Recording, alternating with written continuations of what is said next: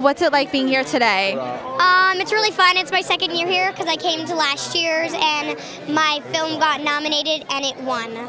I know I heard that you won last year. Congratulations. What was that like for you? Um, it was really fun. Um, I, I, I went up on stage, which was really fun because I've never been, that was like my first time, so it was really exciting. Do you have a favorite movie? Me? I like Shrek and Ice Age, probably. I just got done filming a movie. It was a Rob Reiner project, and it's called Flipped. Can you tell me about the film and your character? Um, well, I play um, a small part, but um, I played young Julie, which was kind of like this girl at first sight saw true love, and then I kind of like loved this guy because I had a crush on him, and then you know he didn't really like me, but then I just kind of just didn't want like him anymore because he was just so mean, and then he started liking me, so it was kind of like flipped.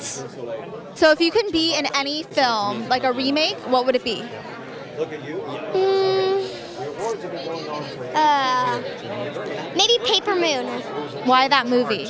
Um, because my dad knew one of the stars, and it's a great movie. It was just a really good movie.